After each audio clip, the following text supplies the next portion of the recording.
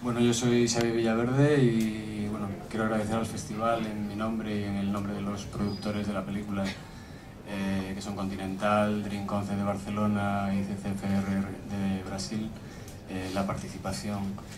Eh, esta historia, bueno, la verdad es que como la historia de Patricia, que también contaba, lleva bastante tiempo dando vueltas hasta que se ha podido producir.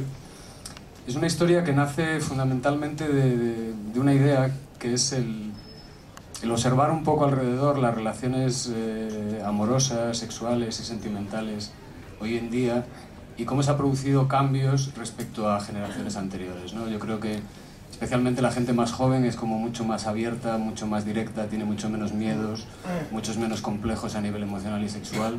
Y entonces la película un poco quiere hablar un poco de eso de alguna forma. ¿no? Eh, utiliza el esquema de una pareja joven que llevan viviendo juntos desde adolescentes ¿Y qué sucede cuando aparece un tercer personaje carismático, misterioso y seductor y pone patas arriba la vida de esa pareja y les hace replantearse todos sus esquemas, todos sus límites como pareja y toda su manera de relacionarse emocional y sexualmente? ¿no? Eh, es una película que mezcla humor y emoción a partes iguales, yo creo, y, y, lo que busca sobre todo es llegar eh, a un público joven, pero también interesar a un público adulto que se pueda reconocer en esa, esa manera de vivir el amor y las emociones. Porque yo creo que es una película que si habla de algo es fundamentalmente del, del, de lo que es el verdadero amor, ¿no? independientemente de que quieras a tu pareja, es decir, qué significa realmente para ti la libertad de tu pareja y si estarías dispuesto a arriesgarlo todo para que esa felicidad fuese posible. ¿no?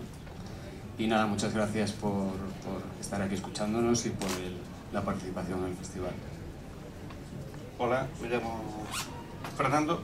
Antes de nada, dar las gracias por dar este salto nuevo en, en, en el festival ¿no? y, y, darnos el La primera el película de animación, de animación, que compite en el Festival de Málaga.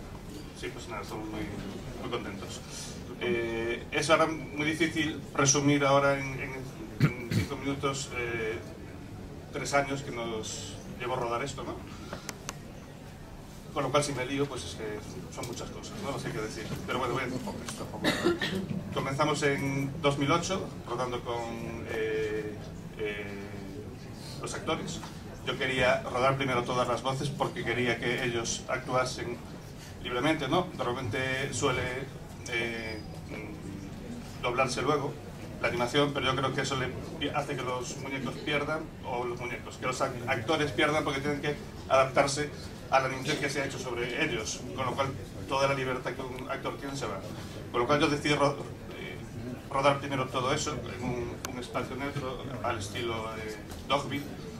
Rodamos con Geraldine Chaplin, con Paul Naschi, con Jorge Sanz, con Luis Tosar, Carlos Blanco, César Bugallo, bueno, olvido, eran eh, bastantes.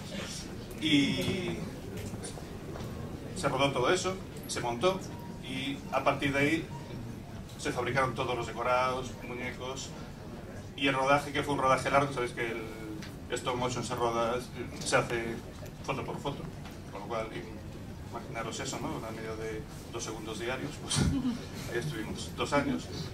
Y la película, que no dije de qué va, es de misterio, fantasía, digamos que la única película por lo que escucho, no sé la pero...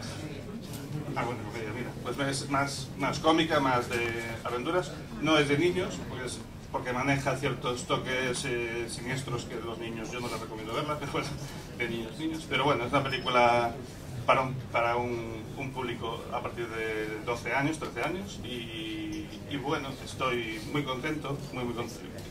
Es un trabajo artesanal alucinante y espero que le guste.